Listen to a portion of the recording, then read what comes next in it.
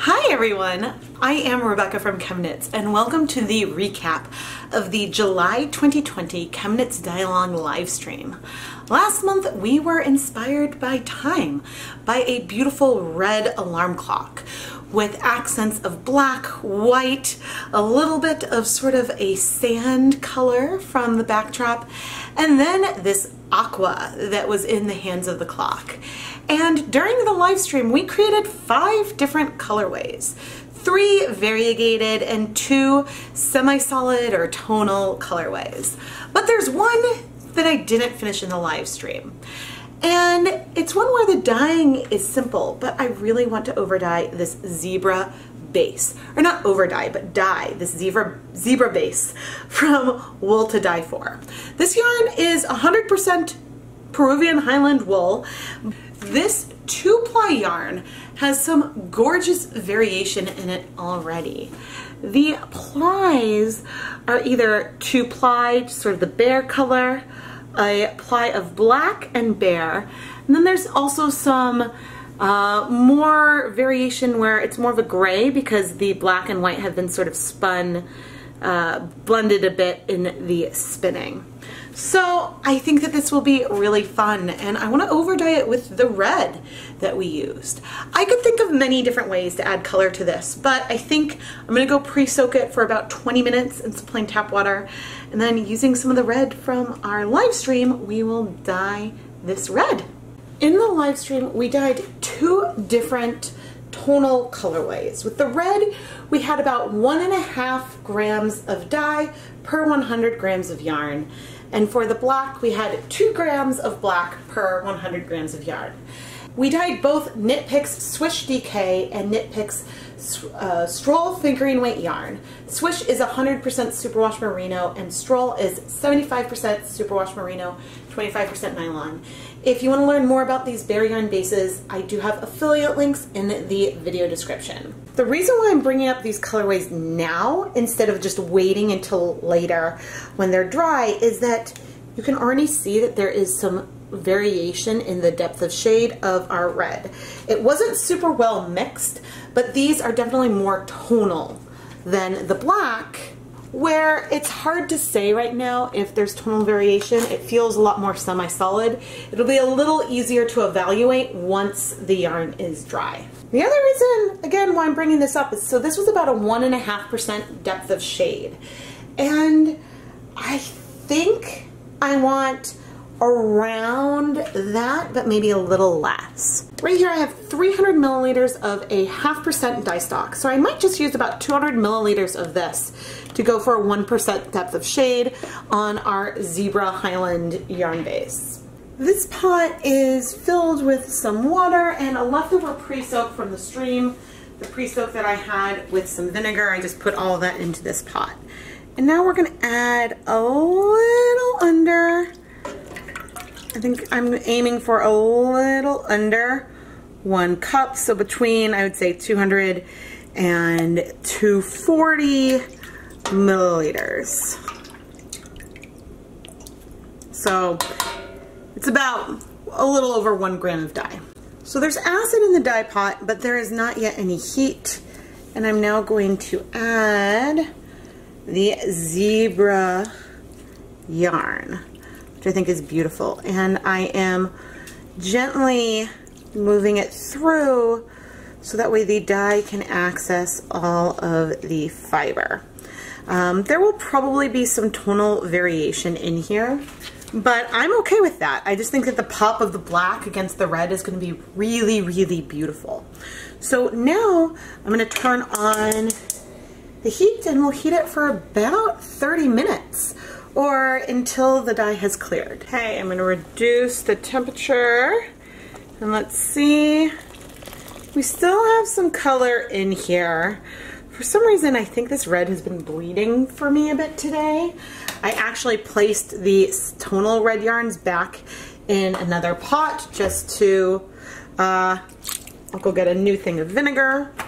Can add a nice splash of vinegar here to our dye pot. And I'm gonna turn off the heat and let this cool slowly over the next few hours in here. Uh, and then once it's cool, I will wash it and we'll include it with the conclusions with the rest of the yarn we created for this dye-along. But I did want to mention that it only seems to be the tonal red yarn, but that did have some bleeding um, that I'm addressing in the ways that I address bleeding. So it's soaking in a warm pot of water and vinegar and I'm letting, I didn't reheat it, but I'm gonna let it sit in that for a while and cool again. I mentioned that I was having some bleeding issues with the red. And as I unwrapped this and started washing it, I decided to wash uh, the red and black ends first to try to keep any bleed from happening on the white. And I think that the little bit of pink that we see right here is from the technique because we didn't have guar gum. And I actually have it such that there is minimal, minimal bleeding now. And I'm going to try to wash the whole skein. I'm bringing this up because if you're worried about bleeding, it's worth doing a little check on your yarn before you make a project, um, especially if you have white and red or there's some blues that might potentially bleed, but that's looking more pink with the yarn in it than it does with the yarn out just because of the way the light is reflecting, so um, it's not bad anymore. But if you're also concerned, it could be worth throwing a color catcher that you might use in the laundry in your soak when you're blocking a project, uh, just to have something in there to help absorb any dye that bleeds out if you're worried about bleeding.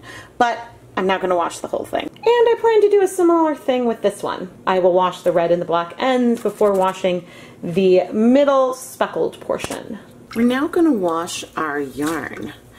I'm realizing Cherry Bomb is a little bit more berry colored as a red especially as it's drying, but it's still a beautiful, beautiful color. Um, there is a little slight bleeding. The bleeding on the other yarn that I've been dealing with um, did resolve from you know either a vinegar soak or a slight reheat. Um, and so if we have bleeding here, we will deal with it. There's a tiny bit of pink left in the pot, so I'm not surprised to see some slight bleeding now. This is not that, eh, it's there. Since this yarn is not superwash, I do want to be careful. But what I'm going to do, as we fill this up with water, I'm going to add a splash of vinegar and let this soak for a little bit because that little bit of acid helps things stop, which goes with my recommendation if you're concerned about bleeding and you're going to block something, add a little bit of acid. Anyway, I'm to let this soak for a little bit. There's no bleeding now that we have acid in here. Um, and then I will rinse it a couple more times, put it through the spin dryer, hang it to dry, if there's another big resurgence of bleeding, I'll come back and show that. But otherwise, let's go look at all of the beautiful yarn we dyed in our live stream inspired by this alarm clock.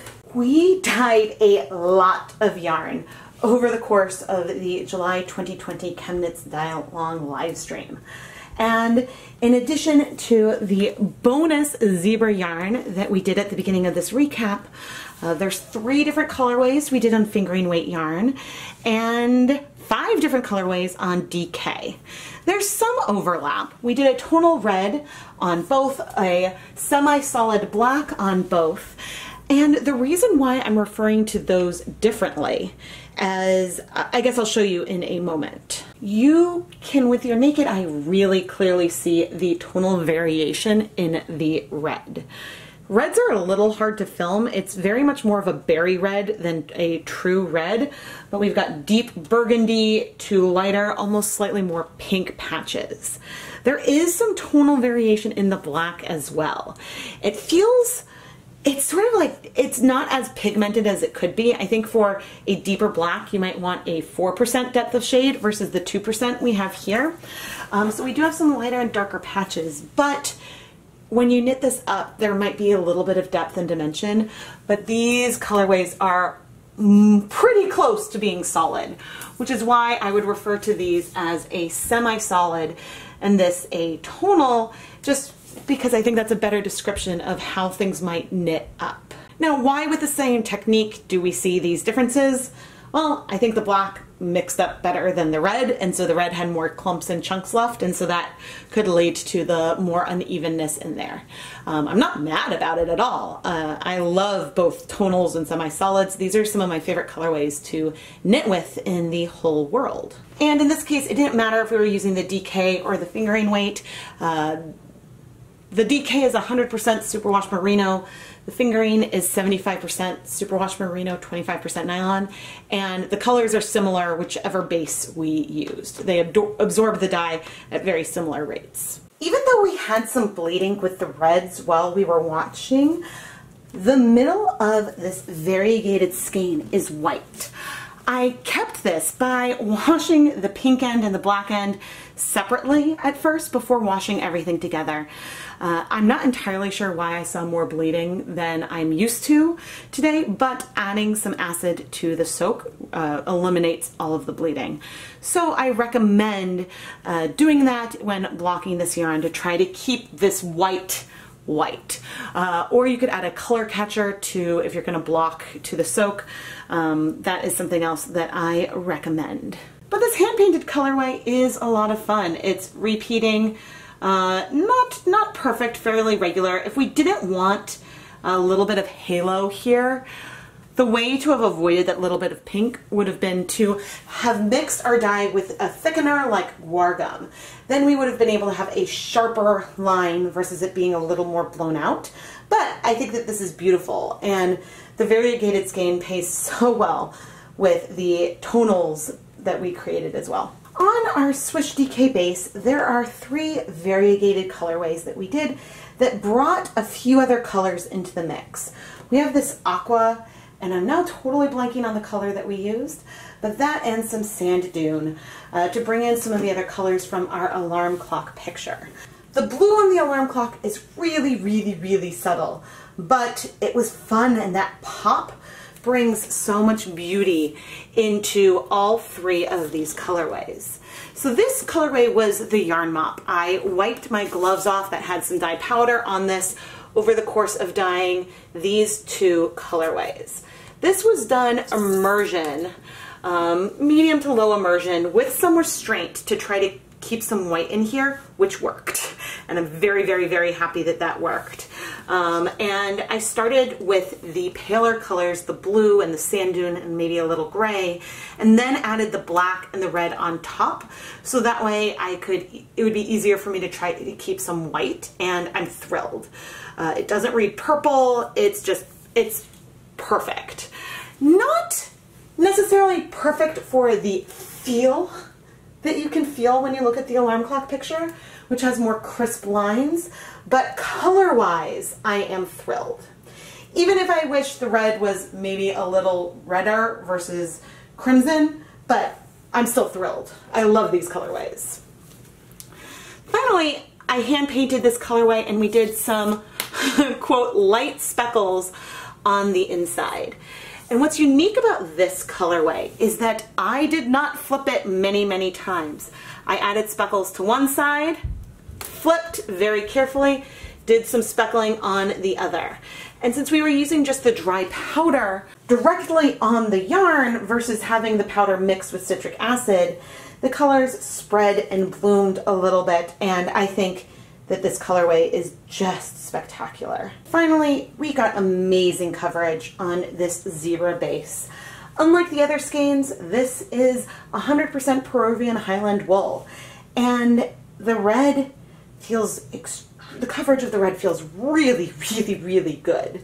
Uh, I'm not observing a lot of tonal variation, but I think one reason for that because I think the tonal variation exists, but I think because of the barber pole and the more gray and black uh, sections in here, I think that that is going to make it harder for us to feel that other tonal variation since there was the variation in the base to begin with. But I want more of these zebra bases to play with. What kind of colorways should I try on them?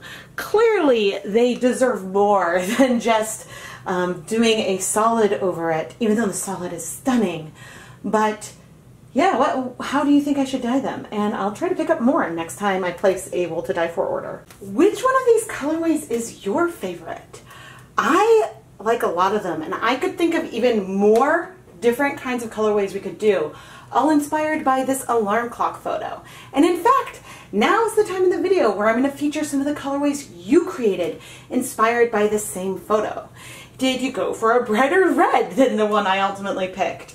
Uh, what parts of this really excited and inspired you? There's so many different ways, so many different dye types, and people can look at one picture and come up with so many different possibilities, and I think that that is incredible. If you would like to be featured in one of these dye-along recaps going forward, dye some yarn or some fiber or some fabric inspired by our inspiration photo and then share it on Instagram with the hashtag ChemKnitsDyeAlong or reply to the dye-along inspiration photo on the public ChemKnits Facebook page uh, with a photo comment and I will pick some to feature in the recap. If the recap video has already come out but you want to share your yarn with me, continue to share with the hashtag. Just maybe mention which month you were inspired by uh, so that way there's not confusion when we're working on the next photo. Before the live stream, I sketched a lot of different photos. And I think of these, this is the one I did immersion style, where I just sort of placed different uh, sections of color. Uh, we did this on fingering weight. We did both of these semi-solids. And with a different color, we did something, I guess, like these two as well. That's a lot of colorways in one stream, especially now that the streams are shorter. But again, you can just see how many possibilities came to me as I looked at our alarm clock photo. If you enjoyed this video, please subscribe to the ChemKnits Tutorials YouTube channel and turn on notifications so you never miss a new video. I publish at least two new yarn dyeing videos every week. Every Tuesday morning is an episode of Dye Pot Weekly, and then Fridays are either a bonus Dye Pot Weekly or some other type of yarn dyeing video. And then we do streams like this and have a lot of fun, and you really don't want to miss any of it. The biggest way you can support the content is by engaging with these videos, watching, liking, commenting down below. But if you want to support the channel on another level, I do have an Etsy shop ChemKnits Creations and a Patreon just under ChemKnits. and those have some fun ways and with some cool perks, whether yarn or shout outs and things like that that you can get. Um, you can find links to everywhere you can find me down in the video description. I've done my best to get the color to come through on the camera, but right now as I'm looking at the monitor, the color on the viewfinder looks red. The color I'm seeing in person is more crimson. This collection is still beautiful, but I think I need to play around with the different red acid dyes at my disposal to get a better feel of the relative hues that they are. Because in my head, I was thinking that fire red was a little bit more pink, and so that's why I went for cherry bomb. And this is more berry, which is beautiful, just not quite what I was going for. I am Rebecca from ChemKnits, and I really hope you enjoyed this recap and look at the finished dry yarn. I, I love dyeing yarn, and I am having so much fun doing whether it's pre-filmed or a live stream, I just have so much fun. And so thank you so much for joining me on this journey as I challenge myself to get better at playing with color. Thank you so much for watching, everyone.